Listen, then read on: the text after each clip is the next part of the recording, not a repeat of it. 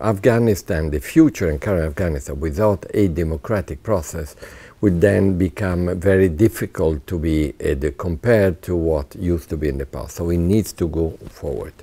Secondly, we have been involved in the political reconciliation by supporting through a group we call Salam Support Group. In other words, a group of specialists who assist those who are trying to negotiate among the Afghans for the future political solution of this conflict. And three, we have been involved in preparing all what could be a um, possible constitutional level type of discussions that would be taking place in the future. In other words, when there is a paper to be prepared for facilitate a reconciliation, we do so. We are also working on the regional level. Mm -hmm. In talking to the different political leaders of the region in order to be able to see what could be the common interest each of them have in the stability of Afghanistan. On the development side, well, that's what the UN does everywhere, and particularly in Afghanistan. Vaccinations, 5 million children being 4.8 vaccinated through the assistance of WHO and UNICEF, two UN organizations, as you know.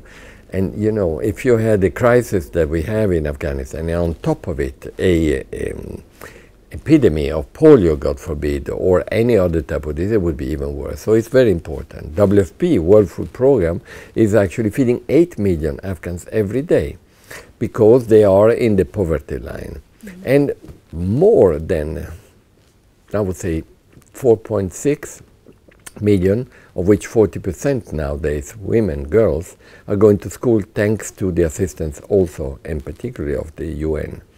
So in development side, we are quite active. We are not being on the radar screen in view of the CNN effects of the security, but it's there.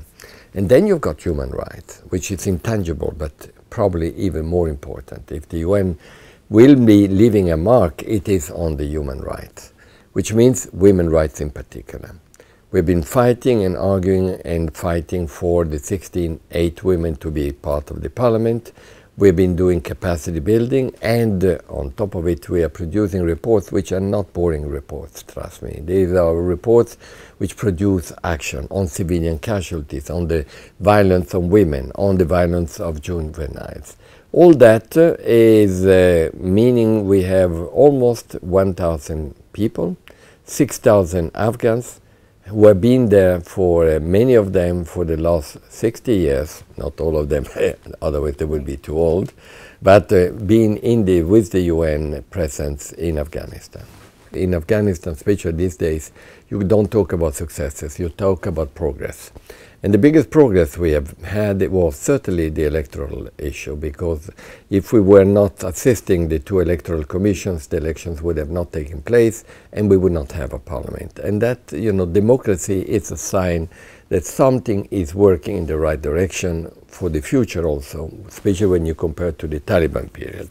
The other, uh, the progress has been on human rights. We have seen the impact of our own advocacy in that field. And three, I think that uh, it is recognized that this, the group that we have put at the disposal of the reconciliation team, the Afghan reconciliation team, is actually being considered very helpful.